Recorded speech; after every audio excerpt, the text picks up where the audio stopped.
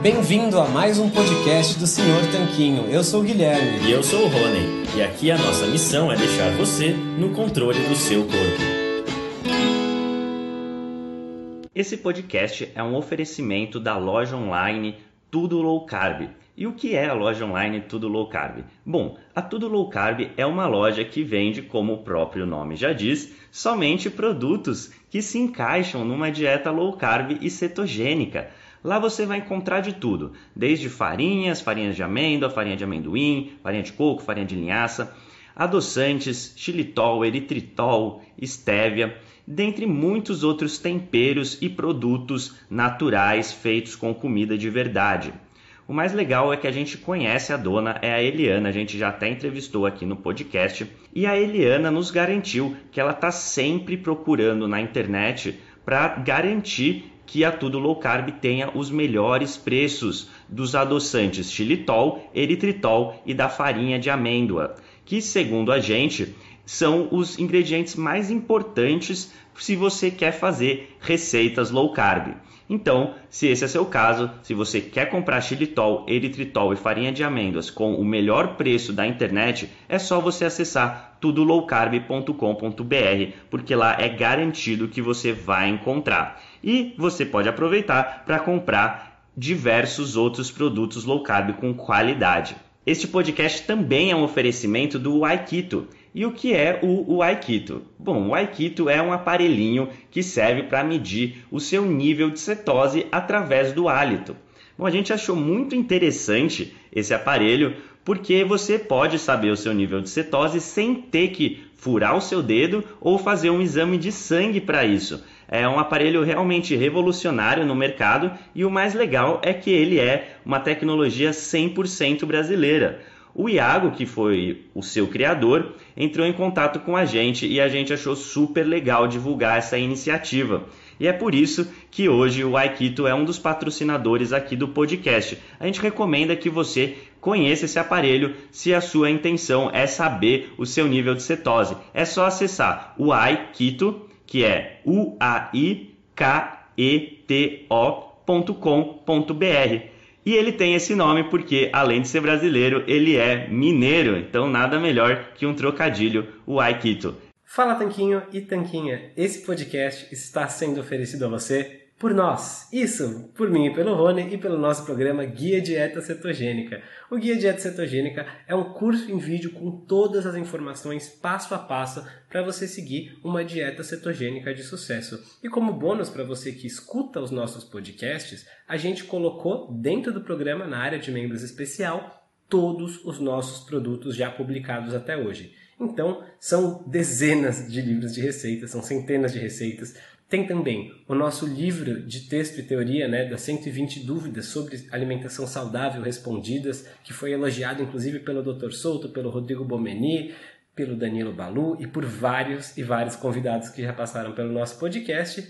E tem tabelas, infográficos, textos explicativos, resumos em PDF, um grupo secreto no Facebook e muito, muito mais. Então, convido você a conhecer o nosso programa Guia Dieta Cetogênica. O jeito mais fácil de fazer isso é acessando senhortanquinho.com GDC. Letra G de guia, D de dieta e C de cetogênica. senhortanquinho.com GDC. Você vai ter acesso ao programa completo e a gente vai amar te receber lá dentro da área de membros. Vamos para o episódio. Olá, Tanquinho! Olá, Tanquinha! Sejam muito bem-vindos e bem-vindas a mais um episódio do nosso podcast. E hoje recebemos novamente a médica Noemi Ueno para falar sobre pele e alguns assuntos polêmicos. Tudo bem, Noemi? Tudo ótimo! E aí com vocês, tudo bem? Por aqui tudo bem também, Noemi. A gente já gravou outra vez com a doutora Noemi, já faz um tempinho, e a gente resolveu chamar ela para falar sobre novos assuntos. No primeiro, a gente falou principalmente sobre pele, sobre acne, e a gente vai deixar o link para esse episódio na descrição deste aqui, para você escutar depois, mas hoje a gente vai ter uma abordagem um pouquinho diferente. Noemi, em primeiro lugar, a gente gostaria que você falasse um pouco para a gente a respeito da relação entre comida, exercício e sono. Como que esses fatores podem influenciar ou não a saúde da nossa pele? Bom, influencia totalmente, totalmente, porque todos esses fatores estão interligados. A pele é um dos órgãos do corpo humano. Na verdade, em termos de área, é o maior é o maior órgão do corpo humano. E se a gente esticasse a pele, a gente teria cerca de 2 metros, 2 metros quadrados e meio de, de área, de, de superfície. E, e, a pele, como é, é parte do, do corpo, ela está totalmente interligada com todas as funções. Então, por exemplo, se você dorme mal, você vai ficar com uma saúde ruim, você tende a ficar no dia seguinte mais ansioso, e isso pode piorar doenças de pele, assim como o contrário também. Quando você tem uma doença de pele, você às vezes fica mais ansioso, você fica preocupado, uh, você dorme mal por conta do, dos sintomas, tem muitas alergias, por exemplo, que, que dão, dão muita coceira. Isso incomoda, lesões inflamadas, é, doem, essa dor, esse incômodo atrapalha o sono e a pessoa acaba dormindo mal. Então está tudo interligado. E é, a, a, o fato de da pessoa ser sedentária ou não também. Né? Eu, eu costumo falar que o, o meu skincare, os cuidados da pele, o, o autocuidado da pele, inclui movimento, atividade física, porque é, também tudo, tudo influi. Quando você não, não pratica nada, você fica com, com a bunda enfiada no sofá o dia inteiro, você não vê a luz do dia, fica trancafiado em ambiente fechado, é, você literalmente vai enferrujando, você vai travando. E, isso também influi na, na saúde da pele. Então está tudo interligado. Excelente, Noemi. Com certeza os hábitos influenciam demais na saúde da nossa pele, assim como em tudo na nossa vida, né? E você usou a palavra skincare, uma palavra que está bastante na moda. E as pessoas muitas vezes fazem rotinas elaboradas de skincare com vários e vários produtos. O que, que realmente é útil e o que não é útil quando a gente fala dessas rotinas de skincare? É, tá muito na moda e Tá tudo bem se a pessoa gosta de um ritual de 530 produtos de manhã, de tarde, de noite, com uma sequência interminável de cremes, loções, adstringentes, tudo bem. Só que isso, na maior parte das vezes, é desnecessário. Então, uh, mais uma vez, o, se, se, a pessoa tem um estilo de vida saudável, se alimenta bem, com, de preferência com comida de verdade, é, se movimenta, é, tem, tem hábitos bons, não fuma, não, não bebe, medita, faz atividade física, é, tem, tem uh, relações boas com, com as pessoas, relações pessoais. É, na maior parte das vezes, você não precisa uh, passar esse monte de coisas, de cremes e loções. Se a pessoa tem uma saúde boa, em geral não precisa de nada. E aí tem algumas situações particulares em que aí sim faz sentido usar algum produto. Então, por exemplo, uma, uma das coisas que é, é mais prescrita é o protetor solar. Protetor solar, eu vejo assim, existem pessoas que precisam usar e, e a maioria, maioria das pessoas não precisa usar o tempo todo. Então, uh, quem precisa usar, que precisa que faz diferença usar protetor solar, são aquelas pessoas, por exemplo, que estão em algum tratamento dermatológico, está fazendo um tratamento com laser, peelings, essas pessoas precisam usar protetor solar por um tempo, é, por um uso temporário. É, pessoas que têm problemas de pele que pioram com o sol, por exemplo, melasma, é, pacientes com doenças autoimunes, como lúpus eritematoso, essas pessoas precisam usar protetor solar o tempo todo, para sempre, uso contínuo. a maior parte das pessoas não precisa usar o tempo todo, como, como se costuma falar por aí. Mas isso é a minha visão particular. Uh, por quê? A maior parte das pessoas estão, a maior parte do tempo, dentro de ambientes fechados. Uh, o que eu oriento é, se a pessoa for, uh, não está acostumada a tomar sol, é, vamos supor, vamos imaginar que ela vá vai, vai aqui para a Chapada dos Guimarães, que é aqui perto de onde eu moro, e vai passar o dia, vai passear, vai ver as cachoeiras e tal. Essa pessoa precisa usar protetor solar, porque é, de fato o protetor solar vai ajudar na prevenção de queimadura solar. Aí sim faz diferença. Quando está numa situação do, do dia a dia, é, em que, por exemplo, a pessoa vai só até a esquina, está pertinho de casa, eu não vejo tanta necessidade assim de passar protetor solar se ela é saudável, não tem nenhum problema de pele, não tem nenhuma, nenhuma, nenhum problema de se expor alguns minutos ao sol. Nesse caso, eu oriento só proteção física, chapéu, boné, é, um óculos escuros, se ela não, não, não, gosta de claridade, a própria roupa, uma roupa já, já protege bem. Para esses trajetos curtos, não tem problema nenhum. Agora, tem alguns outros produtos, por exemplo, hidratante. Hidratante, a maioria das pessoas não precisa tem algumas pessoas, um grupo de pessoas que precisa usar hidratante. Então, pessoas que têm uma pele seca, problemas de pele, como dermatites, é, diabético, problemas, pessoas que têm hipotiroidismo, que deixam a pele muito seca, essas pessoas sim precisam usar hidratante, sempre, uso contínuo.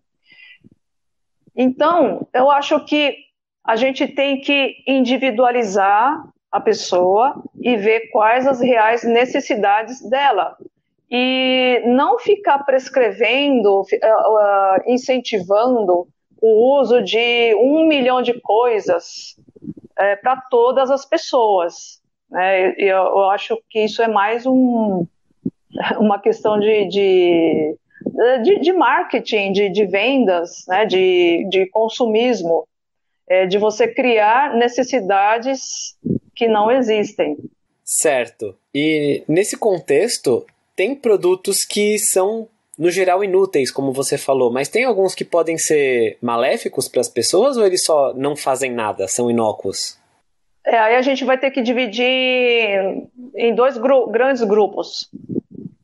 Existem aqueles produtos de venda livre que você não precisa de receita. É, são os cosméticos em geral.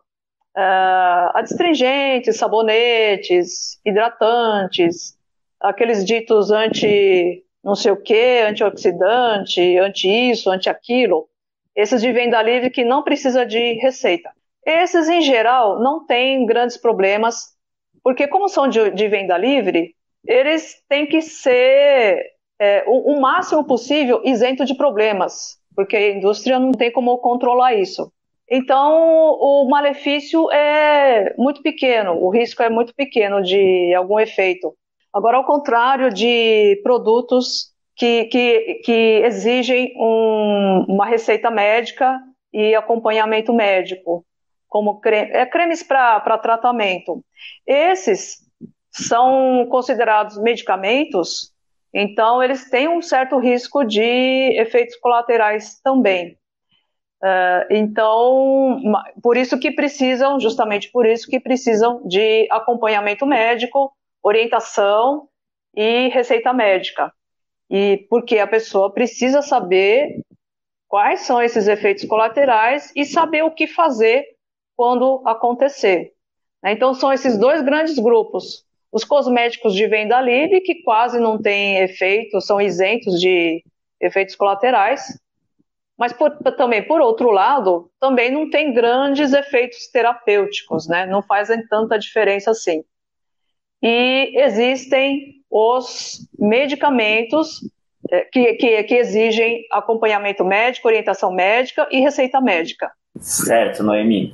E no ponto dos protetores solares, que você falou na resposta anterior, com o que as pessoas devem se preocupar ou devem ficar atentas na hora de comprar um protetor solar? Tem algum tipo de especificação que deve ser levada em conta? Ou isso também varia caso a caso? E, adicionalmente, ainda a essa pergunta, se a pessoa usa muito protetor solar é, o tempo todo, seja por que falaram para ela fazer isso, seja por problemas de saúde, ela vai ter uma necessidade maior de suplementação de vitamina D? É, é, bom, é importante a qualidade do, do protetor solar, comprar de uma marca boa, uma, um de laboratório bom, conhecido. O que tem que se atentar é o, é o número que aparece na embalagem, que é o FPS, fator de proteção solar. Uh, de forma geral, o ideal é que use com um FPS 30, pelo menos, de 30 para cima. E aí tem algumas pessoas que vão precisar usar um fator mais alto. É, o que, que é esse FPS, fator de proteção solar? É o, o é o grau de, de proteção solar. É, Para fazer esse cálculo, a gente pega a, o tempo é, em que a pessoa aguenta ficar até dar um, eritema, que é a vermelhidão, com protetor solar, em relação ao tempo que leva para a pessoa ficar vermelha sem o protetor solar. Então, por exemplo, o FPS 30 seria é, esse tempo de 30 vezes mais que a pessoa aguenta ficar é, sem a vermelhidão com o protetor solar. Não sei se ficou meio confuso. Não sei se deu para entender. Acho que deu sim. É uma função de quanto a mais de tempo ela consegue ficar comparada à exposição sem protetor, não é isso? Isso, exatamente. Então, um FPS 30 é o mínimo que é recomendado. E aí, dependendo do, uh, da pessoa, tem gente, por exemplo, que não gosta de coisas oleosas, gordurosas na pele, e aí então é indicado um com um veículo. Aí a pessoa tem que ver o veículo mais adequado. Tem aqueles protetores com que vem escrito veículo toque seco, oil free ou então oil control, que são mais veículos mais sequinhos, é, para não deixar a pele melequenta, né? Passando o protetor solar, elas vão ficar impedidas de ter os benefícios do sol de forma geral? É, elas têm maior necessidade de suplementação? Como que funciona isso? Bom, em, em termos gerais, uh, quando a pessoa usa protetor solar, uh, ela impede parcialmente o, a radiação ultravioleta uh, na, na pele. Mas esse bloqueio não é completo ele bloqueia parcialmente só. Então, não impede totalmente a produção de, de vitamina D pela pele. Ela fica um pouco prejudicada sim. Ela fica prejudicada, mas não totalmente. E, e geralmente não precisa de suplementação. O, o que eu oriento para as pacientes, para os pacientes em geral, é o seguinte: uh, quem precisa usar protetor solar porque precisa, ou por questão de que ela tem uma preocupação com o envelhecimento, não quer ter muita mancha. Eu oriento então ela a passar o protetor solar nas áreas mais suscetíveis, mais sensíveis, que é o rosto, o pescoço, orelhas, é, o dorso das mãos, os antebraços, e deixar uma outra área menos suscetível exposta, porque qualquer área do corpo, qualquer área da pele é capaz de absorver ultravioleta do sol e sintetizar vitamina D.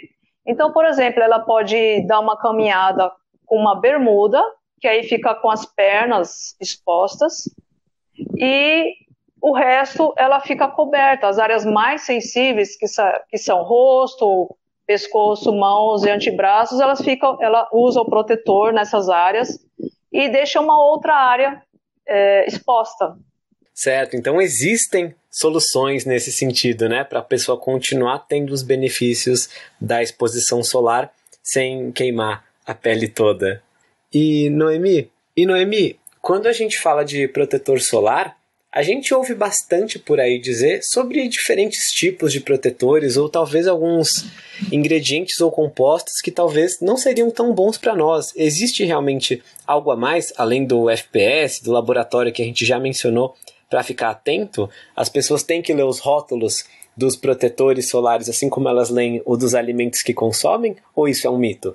Eu acho que não tem necessidade assim, a não ser que uma pessoa já saiba que é alérgica a determinado composto, aí ela vai ter que ler o rótulo, porque o protetor solar, além dos princípios ativos que, que são responsáveis pelo bloqueio da luz ultravioleta, tem outros componentes, conservantes, às vezes tem fragrância, tem o veículo tal. Agora, uh, tirando esse caso em, caso em particular, a, a questão é o seguinte: é, a, a grande maioria dos protetores solares tem quase sempre os mesmos compostos. É, sempre são uma combinação deles. É, tem todos os nomes estranhos, avobenzona, octocrileno, homossalato, são todos esses nomes químicos estranhos. E o que acontece é o seguinte: é, de vez em quando, como aconteceu em 2019 e 2020, que saíram alguns artigos sobre esse tema, o protetor solar, é, e aí isso causa um furor, vamos dizer assim, um furor momentâneo.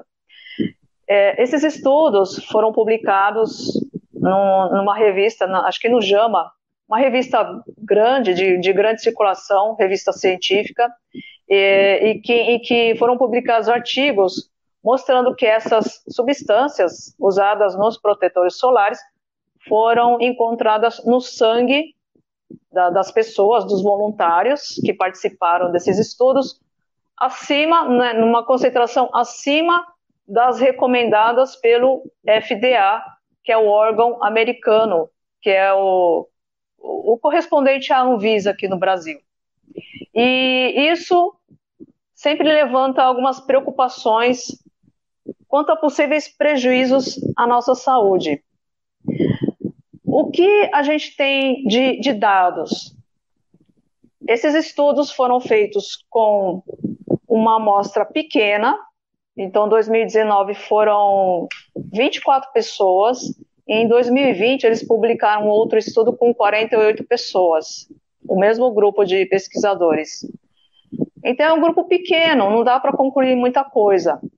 É, o fato de dessas substâncias serem encontradas no sangue, acima das recomendadas, também é, a gente fica na dúvida se isso traz alguma consequência para a saúde, não se sabe.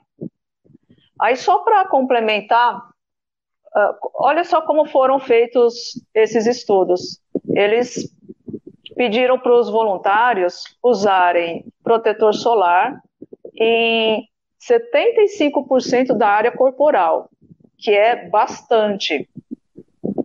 Quatro vezes por dia e durante quatro dias. É, esse é o estudo. Comparando com a realidade, a grande maioria das pessoas não usa esse tanto de protetor solar nessa área toda, né? Mal e mal as pessoas passam no rosto e olhe lá. E mal e mal vai passar uma vez, né? A grande maioria das pessoas não, não vai ficar passando quatro vezes por dia e essa quantidade nessa área grande. Então, uh, é, é, essa concentração, é, é, esse achado dessas substâncias no sangue foi desse estudo. é, e aí extrapolar isso para a realidade, é, eu acho que fica, tem uma lacuna aí, porque a realidade não é assim. A maioria das pessoas não usa nessa área toda. Né? Então, talvez o que foi encontrado no sangue é, em altas concentrações seja por causa do, da quantidade que foi usada de protetor solar. E aí tem outros dados em estudos em animais, em peixes e ratos, e estudos in vitro. In vitro é no, lá no laboratório. É, que aí tem alguns estudos que mostraram que vários desses dessas substâncias encontradas nos protetores solares causam, causaram alterações hormonais, alterações nos órgãos reprodutivos desses animais. Isso é, são estudos em animais. E agora, por outro lado, tem outros estudos que não encontraram nenhuma alteração. Aí eu levanto a hipótese também de que talvez a quantidade que eles usaram de protetor solar nesses animais seja uma quantidade absurda. Eu não sei, eu não sei avaliar isso nesses estudos. E aí por isso que tem essa discrepância, estudo que encontrou que, que é prejudicial e estudo que encontrou que não é prejudicial em animais. Uh, existem alguns estudos em, em homens humanos, seres humanos, que encontraram também é, essas substâncias protetores solares na urina e no leite materno também, né? Agora, qual é a consequência disso? Ninguém sabe para a saúde humana se isso é prejudicial, se isso é, vai causar algum problema, alguma doença, se vai matar mais, se vai causar alguma alteração hormonal, ninguém sabe. Então, é, eu acho que a gente tem que pesar, sempre, sempre pesar as duas coisas, qual é o, é, o, o a relação risco-benefício, porque tem pessoas, como eu falei lá no início, que precisam do protetor solar. Então, essa celeuma de que protetor, protetor solar é tóxico, é, que faz mal, eu acho um pouco exagerado. Eu, por, por conta disso, o, pelos estudos que tem até agora, nada é conclusivo para seres humanos. A gente não sabe exatamente qual é a consequência na, na nossa saúde. Bom, Nemi, então pelo que você falou, deu para perceber que é um campo ainda que precisa de respostas mais conclusivas, mas haveria algum tipo de regra prática?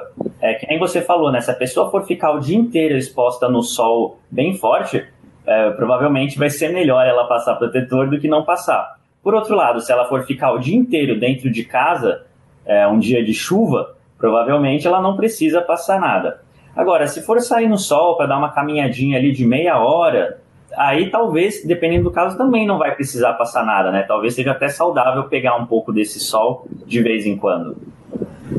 Sim, sim, é possível sim. Para a maioria das pessoas, e o que eu noto, se ela tiver já com uma alimentação boa, de comida de verdade, ela já tirou esses produtos industrializados, cheios de açúcar, farinha, gordura sintética, ela já está bem, bem melhor do que antes. Ela está com o corpo menos inflamado, com menos estresse oxidativo.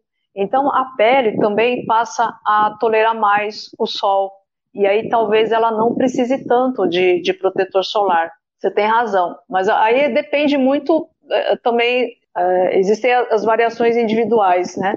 Mas em geral nesse caso que você citou, vai dar uma caminhadinha de meia hora, tal, a pessoa já é saudável, já está tolerando mais, a pele já está bem mais tolerante, ela está desinflamada, uh, possivelmente vai ser, uh, não vai ser tão necessário assim passar protetor solar, e aí talvez com o uso de acessórios só, já ela já está bem segura.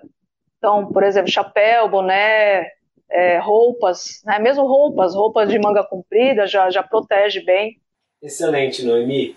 Às vezes a gente fica muito obcecado pensando nos protetores e outros produtos e esquece dessa proteção simples, né? Que roupas, chapéus, esses blo esse bloqueio realmente físico pode já ajudar bastante. E eu gostei muito de algo que você falou, que foi no sentido de avaliar o risco e retorno das, das intervenções, né? É algo que acredito que tem que ser levado em conta sempre. Eu gosto muito de uma analogia que diz que é como se a gente fosse tentar pegar uma moeda no meio da rua e dependendo, às vezes o possível retorno é uma moeda de ouro, é uma moeda que vale a pena a intervenção, dependendo do risco dela, e às vezes é uma moeda de 10 centavos, que não vale muito. E às vezes o risco é ser atropelado por um ciclista e às vezes é ser atropelado por um caminhão. Então é interessante a gente avaliar essas duas facetas sempre que a gente for falar. Com certeza, um potencial risco dos protetores solares que parece não estar tá muito claro não seria tão grave quanto, por exemplo, o risco grande né, de você ficar todo queimado de sol, se for ficar um dia inteiro no sol também. Então é, é interessante colocar essas coisas em perspectiva para poder tomar essas decisões. Exatamente, exatamente. Você falou bem. É, porque as coisas não são tudo ou nada, como as pessoas tendem a pensar. O nosso cérebro sempre tende a pensar assim, ou tudo ou nada, 8 ou 80.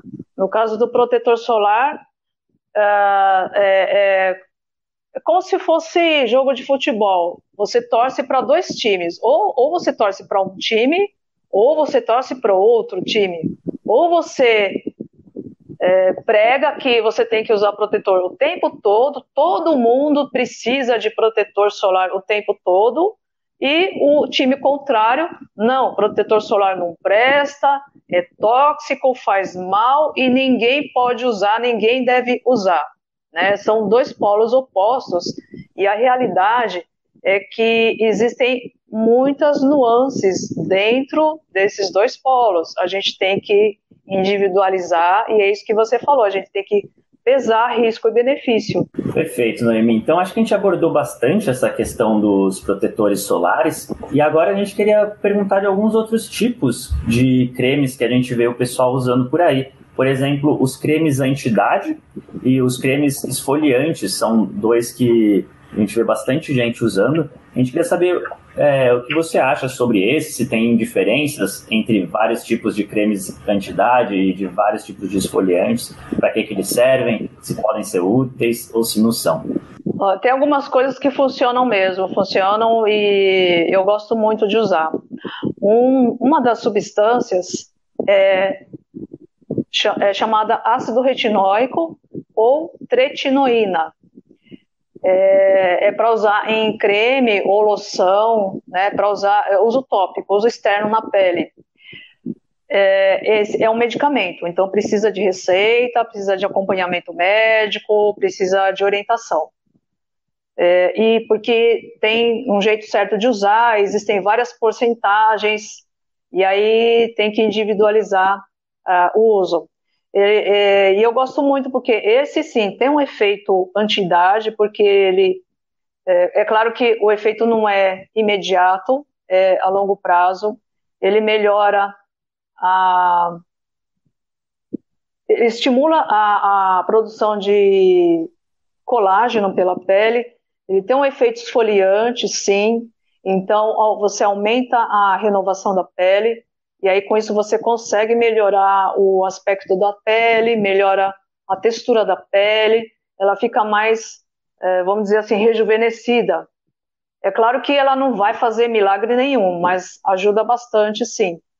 É, ele pode ser usado também para algumas situações, algumas doenças, como acne, porque além disso ele tem efeito anti-acne, anti ele tem um efeito anti-inflamatório, então é muito bom para acne, é, mas precisa de acompanhamento médico, precisa de receita médica, não pode sair por aí usando de qualquer jeito, porque ele tem alguns efeitos colaterais. Ele tem efeito irritante, é, ele arde, é, pode deixar a pele mais sensível, vermelha. Então a pessoa tem que saber usar.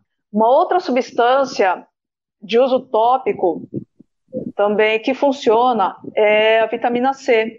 E também tem um, alguns, é, alguns não, já tem vários estudos mostrando os benefícios da vitamina C. vitamina C tem efeito anti-envelhecimento, tem efeito clareador, um certo efeito clareador também, então para alguns tipos de mancha melhora. É, e também é, tem, você tem que individualizar, tem que saber a porcentagem da vitamina C é, que é indicada para cada pessoa. É, e também tem certos efeitos colaterais. Também arde, pode dar um pouquinho de, de ardor, queima, queimação na pele na, no, no começo do tratamento.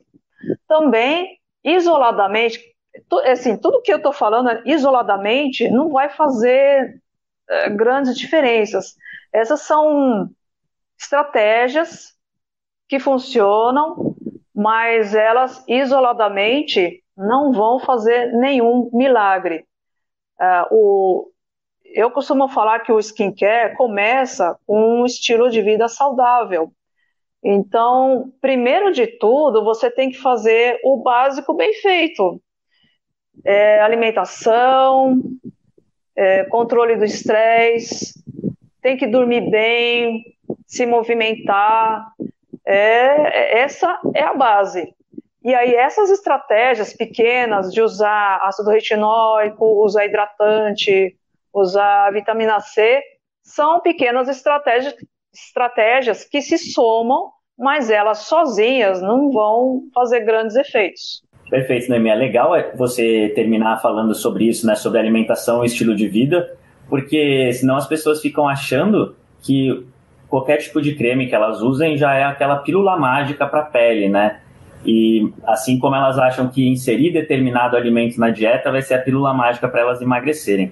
Só que o corpo funciona como um todo. Então, se a gente uhum. ajeita a nossa alimentação, nosso estilo de vida, sono, é, exercícios, a tendência é o corpo melhorar como um todo também, e isso vai acabar se refletindo na pele de alguma maneira, né? E agora uma pergunta mais da sua prática clínica, Noemi. Qual que você percebe que são os maiores erros ou os maiores enganos das pessoas que chegam até você no consultório, numa consulta online? Deixa eu pensar aqui. Tem vários erros. Uh, uma coisa que eu acho, é, que eu acho não, que eu percebo, é muito comum, é que as pessoas focam muito no, nos vegetais elas acham que é, uma alimentação saudável é baseada em frutas, muita fruta, muita verdura, é, muita salada, e, e elas têm que diminuir a carne, principalmente carne vermelha. Essa, na, na, na visão das pessoas, é uma dieta mais saudável. Então, é comum quando o adolescente vem acompanhado do, do, dos pais, ou da mãe ou do pai, e, e, e os pais falam assim: doutora, fala para ele, fala para o meu filho que ele tem que comer mais fruta, ele não gosta de salada, ele precisa comer mais salada, ele não gosta, tal. E aí, é, é, não que os vegetais sejam ruins, eles são muito saudáveis, frutas são saudáveis, mas não, não, é, não são a base da alimentação, né? é, não pode ser a, a predominantemente de vegetais.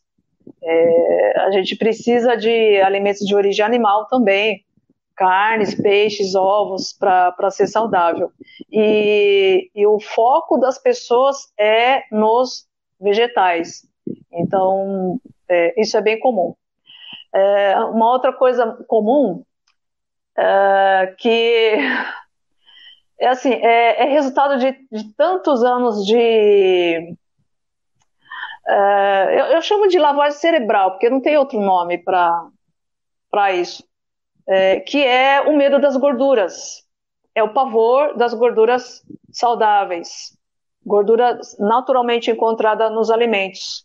Gordura do ovo, gordura da carne, gordura do, do frango, então, as pessoas morrem de medo de, de gordura.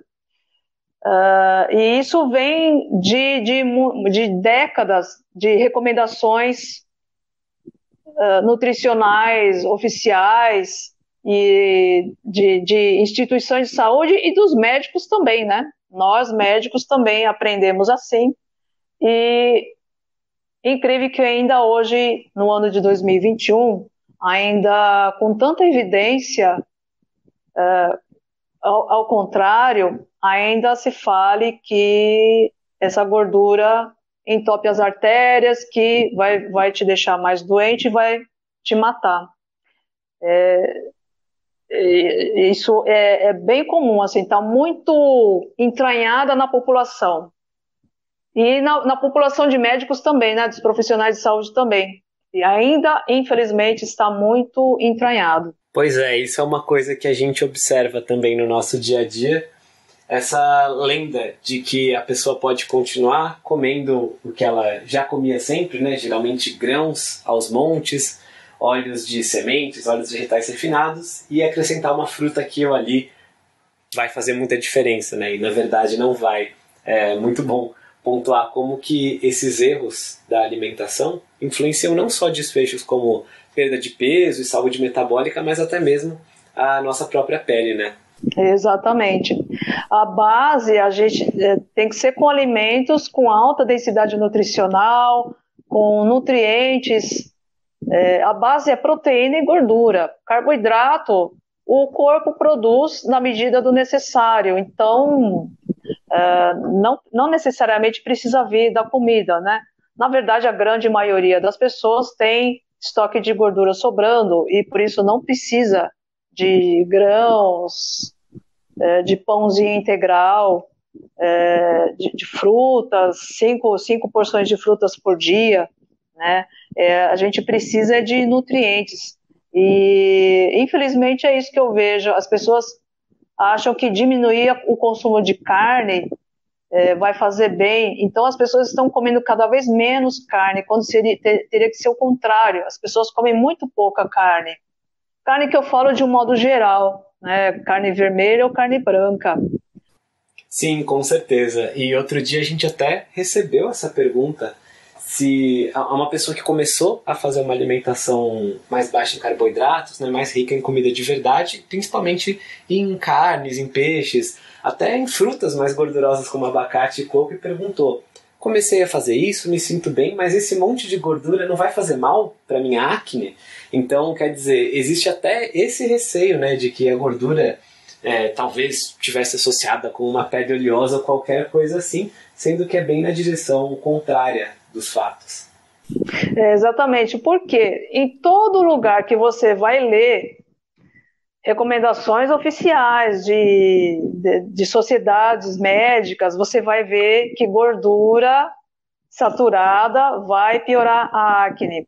E não é bem assim. A menos que você exagere muito na quantidade, né? Mas não é a gordura é, dos alimentos que vai produzir acne. É, é, não é isso o problema, né? O problema são aqueles outras, os outros alimentos, né? Como a gente já falou, os alimentos processados, é aquela gordura sintética que tem nos, nos, nos produtos processados. É essa gordura sim que é ruim, mas não a gordura do abacate, gordura do ovo, gordura do frango.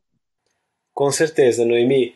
E fazer uma pergunta aqui, que eu sei que se eu não fizesse, a gente ia receber um monte de mensagens é, perguntando por que vocês não falaram isso? E eu sei que, já fazendo o disclaimer, que tem que ser algo individualizado e, e tudo mais. Mas as pessoas geralmente perguntam, elas têm essa curiosidade sobre os nossos convidados, como que é a sua, o seu cuidado com a pele no dia a dia, né? Tanto em termos de alimentação quanto em termos de produtos. Bom, a minha alimentação atualmente é a maior parte do tempo é carnívora, mas às vezes eu faço algumas refeições mais cetogênicas, então é carne e vegetais. Eu como fruta também, eu gosto de banana, eu gosto de abacate. Então eu como essas frutas mais doces, mas não é uma quantidade absurda e não é nem, nem é a base da minha alimentação. É, como eu não preciso emagrecer, então tem uma certa liberdade. E de vez em quando eu furo mesmo, eu como doce, de vez em quando eu, eu tomo vinho, de vez em quando eu tomo caipirinha. Então tem essas, exceções aí. Mas uh, o dia a dia, a rotina mesmo é, é low carb cetogênica ou carnívora. E aí, com, com relação aos meus cuidados, é, é muito simples. É, eu tomo banho só com água, eu já não uso mais esses produtos cosméticos, de higiene, nada, porque é, eu tenho um, um, tipo de alergia chamada dermatite atópica, que é um tipo de alergia que, que, que eu tenho desde criança. E aí, um certo tempo atrás, eu comecei a desenvolver alergia a, a esses produtos. Então, até protetor solar me dá alergia, então eu não uso. Não uso protetor, não uso nada. Eu tomo banho com água só, lavo o cabelo só com água e passo hidratante. Esse eu preciso passar porque senão minha pele fica muito seca. Só. E aí eu faço atividade física quase todo dia, assim, umas quatro ou cinco vezes por semana. Eu faço, agora eu estou fazendo um tipo de meditação que, é, que chama Qigong, que é, é uma prática meditativa é, corporal, com movimentos corporais. É estilo Tai Chi Chuan, é o Qigong, é chinês. E, e é isso. E é, é isso, atividade física e só. Eu saio para passear com o cachorro, então eu tomo um pouquinho de, de sol por dia. E é isso. E continuo estudando. É, agora eu tô. Eu vou, eu vou fazer um. Eu peguei um curso sobre respiração para me aprofundar nesse assunto, porque respiração é uma prática tão simples, tão esquecida e que faz tanta diferença, viu? Qualquer pessoa tem acesso, respiração consciente e qualquer pessoa pode usar, pode aprender e usar no dia a dia. E isso ajuda muito no controle da ansiedade. Então, quem está ansioso, estressado, pode, pode usar essa estratégia, é muito simples. Então, é isso que eu estou estudando atualmente. E o dia a dia é isso: é, é estilo de vida, alimentação, uh, treino, meditação e um pouquinho de sol e só água para tomar banho e lavar a cabeça. E hidratante que eu preciso. Perfeito, Noemi. Muito bacana escutar o seu lado que você faz na prática mesmo. E, Noemi, para quem quiser ter acesso ao seu conhecimento, é, te seguir nas mídias sociais, ter uma consulta com você ou algum programa seu, como que as pessoas podem fazer? É, no Instagram, arroba Noemi Ueno é, basicamente Instagram. Eu tenho o Facebook também, mas é, eu estou focada mais no, no, Instagram. Lá tem tudo, tem, tem os contatos, tem é, telefone, tem link para marcação de consulta, tá tudo lá. Perfeito, Noemi. Vamos deixar o link do seu Instagram aqui na entrevista também. Então, muito obrigado por sua presença aqui no podcast, muito obrigado pelo seu tempo com certeza ficou um conteúdo muito rico. Olha, foi um prazer enorme estar de volta aqui. Pode me chamar sempre que, que vocês quiserem para falar de algum assunto relacionado à minha área. Pode me chamar. Muito obrigada. Legal, Noemi, com certeza. Assim que a gente acumular mais um pouquinho de dúvidas dos nossos leitores, do pessoal que for escutando os nossos podcasts, a gente marca uma terceira rodada, vai ser muito legal. E também vamos aproveitar para agradecer todo mundo que nos escutou até aqui. Obrigado por sua audiência. Lembrando que a gente solta episódios novos todas as segundas e sextas-feiras. E é interessante que você se inscreva no nosso podcast. Estamos por todas as plataformas. Assim você não perde nenhum dos episódios. A gente se fala no próximo deles. Um forte abraço do, do Sr. Tanquinho.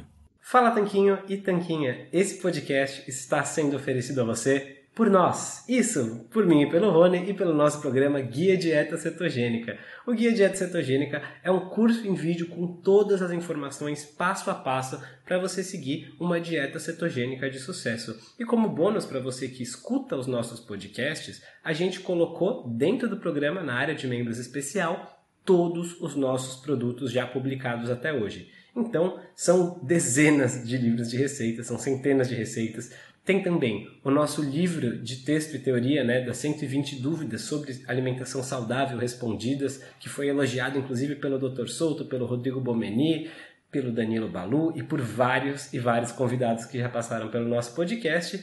E tem tabelas, infográficos, textos explicativos, resumos em PDF, um grupo secreto no Facebook e muito, muito mais. Então, convido você a conhecer o nosso programa Guia Dieta Cetogênica. O jeito mais fácil de fazer isso é acessando senhortanquinho.com barra GDC. Letra G de guia, D de dieta e C de cetogênica. senhortanquinho.com barra GDC. Você vai ter acesso ao programa completo e a gente vai amar te receber lá dentro da área de membros.